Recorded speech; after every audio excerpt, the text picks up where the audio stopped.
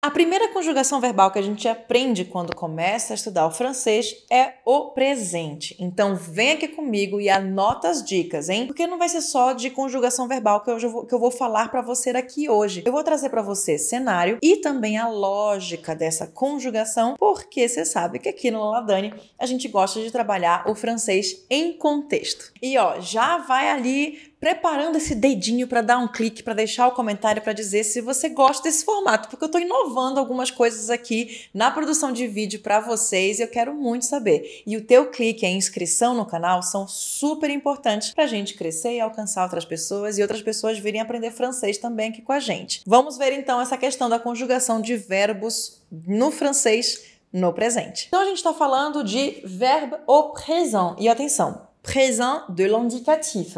Isso aqui pode parecer extremamente gramatical, mas eu quero que você entenda por que, que eu dou o nome de indicatif. Porque ele indica algo, tout simplement, les gens. É isso. Então eu brinco em sala de aula que eu estou dando uma certidão de nascimento para este verbo, para esta regra. E aí a gente tem como nome présent como sobrenome de l'indicatif. E aí ele representa, ele indica que o verbo, que a ação acontece no présent. Mas eu vou mostrar para vocês aqui três situações que a gente usa o verbo no presente e o que, que, ele quer indicar. Porque simplesmente usar o verbo no presente no francês, ele vai indicar o quê? Um hábito. Um hábito que você repete. Então, o que você faz na semana? Eu estudo, eu trabalho, eu vejo TV. Isso representa hábito, indica ações no teu presente. A gente vai usar também para indicar algo que eu tenho marcado na agenda para hoje à noite, um futuro muito próximo.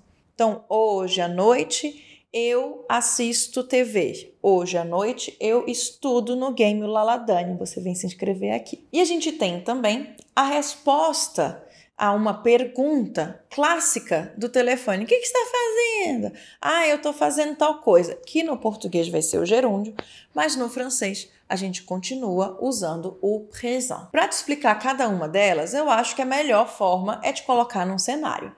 Então, o primeiro cenário que a gente vai ver é sobre a questão do uso deste présent para falar de hábitos do dia a dia.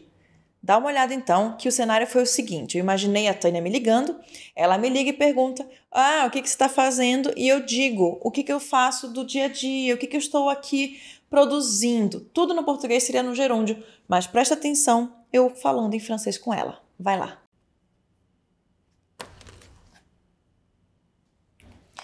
Coucou Tani, ça va? Ah bah oui, Bah, tu sais, euh, je planifie la classe d'aujourd'hui.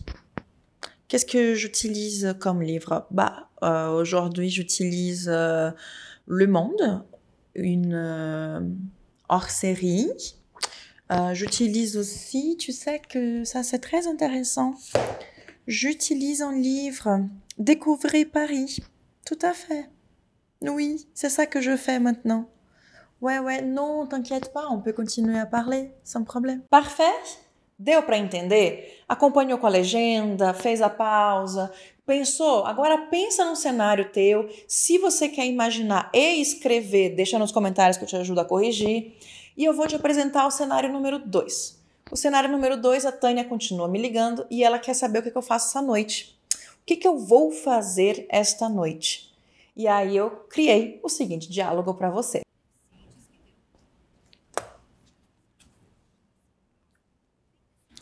Coucou Tanini, ça va et toi? Oui, je vais bien. Alors, ce soir, laisse-moi regarder mon agenda de secondes. Oui, ce soir, j'étudie un peu. Après, je mange avec ma famille. Tu veux aller au cinéma? Oui, on va au ciné. Oui, tout à fait. À 10 heures C'est tard un peu D'accord, c'est moins cher. Je suis d'accord. Parfait, à toutes. Agora, na terceira situação que eu vou te mostrar, a Tânia me liga novamente. Ela fala ali comigo, pergunta o que, que eu estou fazendo. Ela sugere uma criação de conteúdo para uma das nossas aulas. E eu falo para ela, putz, mas eu tô fazendo isso agora, é exatamente isso que eu tô fazendo agora. Aí vai entrar o gerúndio.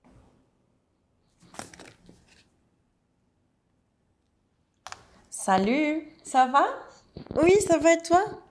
Bah, je produis, euh, je fais les classes d'aujourd'hui. Oui. En fait, tu sais, euh, ça c'est très intéressant. Je suis exactement en train de lire une liste de fruits et légumes saison. Oui, je pense que ça va être super pour utiliser en classe. Tout à fait. Bah, je suis en train de lire là maintenant. Je, je vais utiliser euh, la liste ci-dessus. D'accord. Je, je t'envoie. Muito, tout à fait. Je t'envoie. Bisous. Muito que bem. Vimos tudo isso, agora vem aqui comigo que a gente vai ver essa estrutura e a gente vai desmistificar todo esse problema de conjugação verbal que eu vou te mostrar que tem lógica. Peguei as frases que eu usei no diálogo. Então, olha só. Aqui eu falo Je prépare la classe pananás. Aqui nós temos o que? O verbo préparer. Então, esse aqui é o meu verbo e ele no infinitivo, o que, que eu faço?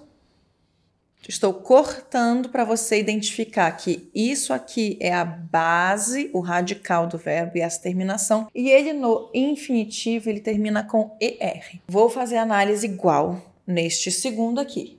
J'étudie. J'étudie. Então também, aqui está toda a minha ação que eu estou comunicando. E aí, cortei. Essa aqui é a minha base, o radical e eu sei que esse verbo no infinitivo é étudier. Eu tenho aqui a minha ação. E aí a gente aprende que existem verbos irregulares, que você precisa fazer a tabelinha dos irregulares e vai aprender que esse aqui vai decorar, que esse aqui é o verbo aller. Então ele não tem como eu destacar a base através da conjugação do on. Se fosse do vous, até teria uma pequena lógica, mas a do on eu não tenho como e eu gravo que esse aqui é o verbo aller no infinitivo, o verbo ir. Tu tá fez. Então, da feita que eu tenho essa base dos regulares. Verbos regulares terminam com ER no final. O que, que a gente precisa fazer como? Primeira coisa, deixa eu trocar a canetinha, porque eu gosto de coisas coloridas.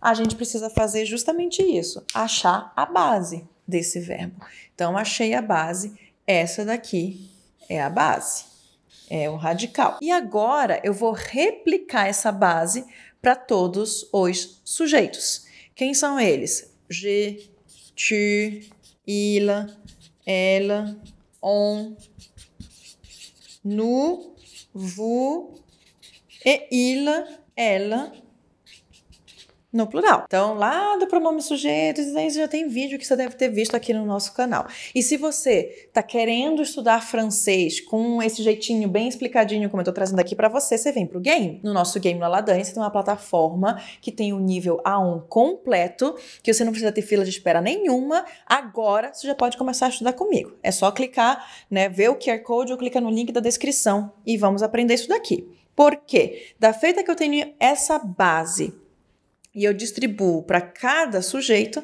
o que, que vai faltar? A terminação. E aí a terminação ela vai seguir a ordem do je termina com e, o tu com es, il, ela e on termina com e. Depois eu tenho o nu, o vous e o il, ela, plural. Quanta coisa igual do português. Sim, completamente igualzinho do português. Mas tem uma coisa muito bacana do francês, que eu quero que você fixe isso. A partir de agora, aprendeu aqui com a Dani, que verbos que terminam com ER, que a gente considera regular, que eu uso o mesmo radical, a mesma base, para todo mundo. Na hora que eu coloco estas terminações, eu tenho a mesma pronúncia para essas quatro pessoas. Je prépare, tu prépares, il prépare, elle prépare, il prépare e elle prépare. Ou seja, eu ignoro esse S, não falo. Ignoro esse NT e eu não falo. E eu vou lá para a regra do E, que toda vez que a palavra termina com E mudo, ele é mudo, ele dá a tônica sutil, coisa mais linda de se falar o R. É onde vai vir a beleza do francês. Prépare. E aquela coisa delicada. Eu posso falar, por exemplo, je mange, tu manges. Lindo. Aí você já encanta, né? Isso daqui você é cantada de bar, né? Você vai lá e já começa a falar bonito em francês. Ah, tá estudando francês. Bah oui, tu manges. Tu prépares. Il prépare. Pronto, falando nada com nada, tá ganhando alguém. Enfin, tá chavecando, né? Mas, quando você for conjugar para nous e conjugar para vous, você tem que prestar atenção, porque daí o nous, a, termine, a terminaison é on. Não vai falar esse S, sai com som de on. E o vous, a terminação é com EZ e ele vai sair com som de E. Não vai falar o Z também. E sai com som de E. Então, repetindo a conjugação, je prépare, tu prépares, il prépare. Nous préparons, vous préparez, il prépare.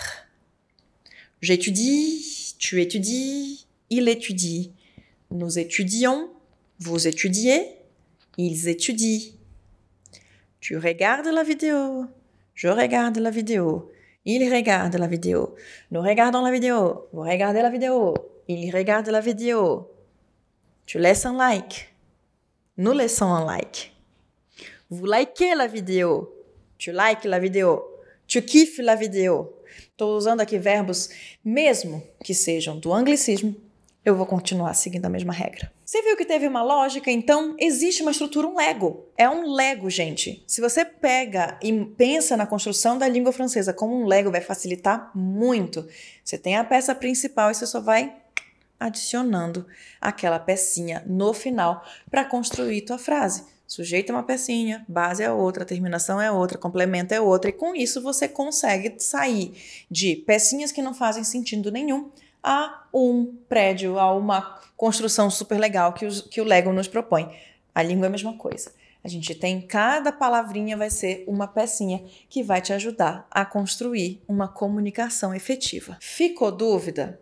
Tem algum outro verbo que você quer ainda que eu venha te explicar? Deixa aqui nos comentários, hein? Eu espero que você goste desse vídeo.